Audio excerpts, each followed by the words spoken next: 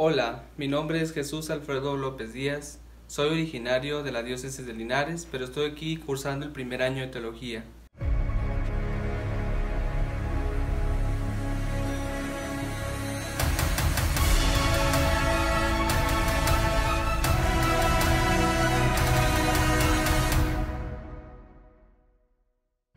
Ya estamos próximos al jueves santo, por lo que te voy a presentar una breve catequesis.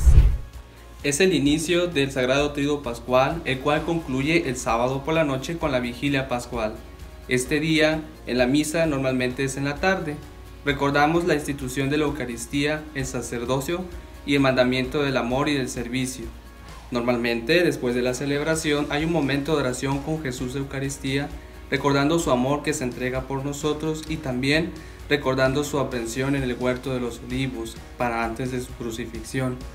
El sentido de este día nos invita a recordar a Cristo como siervo y ofrenda, pues el Señor nos ayude a comenzar este trido pascual reconociendo sobre todo su gran amor por nosotros y que también nosotros le podamos corresponder con obras y palabras en el servicio y en el amor. Que tengan buen inicio de semana.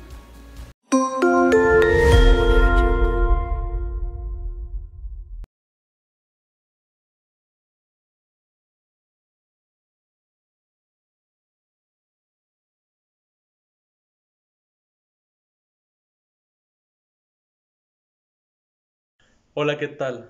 Soy el seminarista Francisco Luna del primer año de filosofía. Espero que te encuentres muy bien.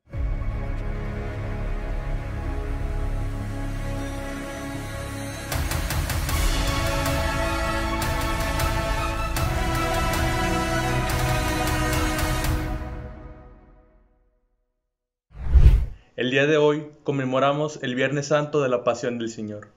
En este día, la Iglesia nos invita a la práctica del ayuno y la abstinencia. A pesar de que el día de hoy no se celebra la Santa Misa, sino la celebración de la palabra.